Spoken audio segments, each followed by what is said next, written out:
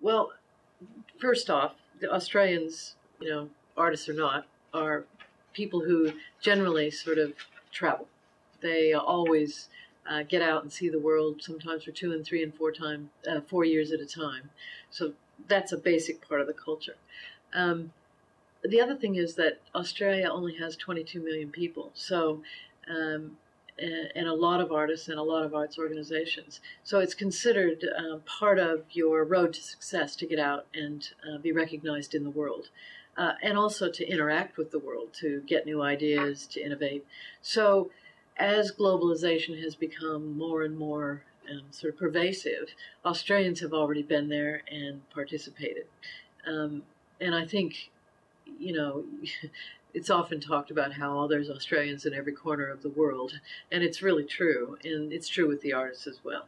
Um, well, more and more, ironically enough, um, artists who are amongst the first to be concerned about global warming are getting quite concerned about the um, carbon footprint. And, you know, touring costs money, touring um, does have a rather sizable carbon footprint. So a couple organizations in Australia have actually um, quantified their carbon footprint. And that's actually a really great first step because you start to realize that in order to make up, you know, or to, to make it be a neuter footprint or a neutral footprint, um, you have to charge this much per ticket. And you start to have a conversation about the elasticity of your ticket or whether or not that's, that's actually got some cred that would make your ticket be more attractive because you are taking it into account. So I consider it a really important first step that we're talking about it. And not many are, but they will lead the ones that need to.